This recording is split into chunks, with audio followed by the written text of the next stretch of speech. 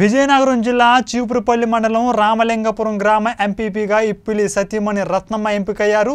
ఈ సందర్భంగా ఆమె మాట్లాడుతూ ఈ పదవి రావడానికి ముఖ్య కారకులైన రామలింగాపురం పుర్రవలస ప్రజలకు ఆమె ధన్యవాదాలు తెలిపారు. నైన్టీన్ టీవీ ప్రేక్షకులకు నమస్కారాలు.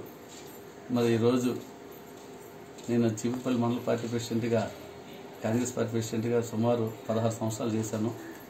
మరి అలాగే ఈరోజు అందరి అభిమా ఆదర మరి ఈరోజు మన గౌరవ మంత్రి బొత్స సత్యనారాయణ గారు ఆశీస్సులతో అలాగే మన గౌరవ పార్లమెంట్ సభ్యులు బెల్లాన చంద్రశేఖర్ గారి ఆధ్వర్యంలో అలాగే సునీల్ గారి ఆశీస్సులో ఈ ముగ్గురు ఆధ్వర్యంలో ఈ ముగ్గురు ఆశీస్సులతో ఈరోజు చీపురుపల్లి మండల ప్రజలు కానీ పార్టీ నాయకులు అందరూ కూడా కలిసికట్టుగా ఈరోజు నా మిస్సెస్కి ఈరోజు పార్టీ పగ్గాలు ఒప్పుచెప్తూ ఈరోజు మండల మన మండల అధ్యక్షురాలుగా ఈరోజు అందరూ ఎన్నుకొని ఈరోజు ప్రమాణ స్వీకారానికి ఇచ్చేసిన అందరికీ కూడా నా ఒకసారి హృదయపూర్వక నమస్కారాలు నేను తెలియజేసుకుంటున్నాను.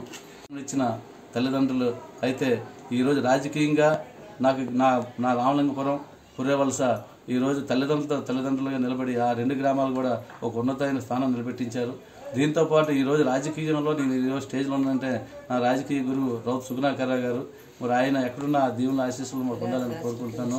మరి ఇటువంటి ఇచ్చేసినటువంటి వాళ్ళందరికీ మరొకసారి నా పెద్దలైనటువంటి గౌరవనీయులు గౌరవ బొత్స సత్యనారాయణ గారు ఝాన్సీ మేడం గారు అలాగే గౌరవ పార్లమెంట్ సభ్యులు బెల్లాన్ చంద్రశేఖర్ గారు అలాగే గౌరవ ఉడ్బీ జిల్లా పరిషత్ చైర్మన్ చంద్రశీని గారు అందరూ కలిపి ఈరోజు అందరికీ మా ప్రత్యేకించి మరొకసారి మా ఎంపీపీగా వెంకట నరసమ్మ గారిని ఎంపీ ఎంపీపీగా ఎంపీ వెంకట నరసింహ గారిని ఎన్నుకున్నాను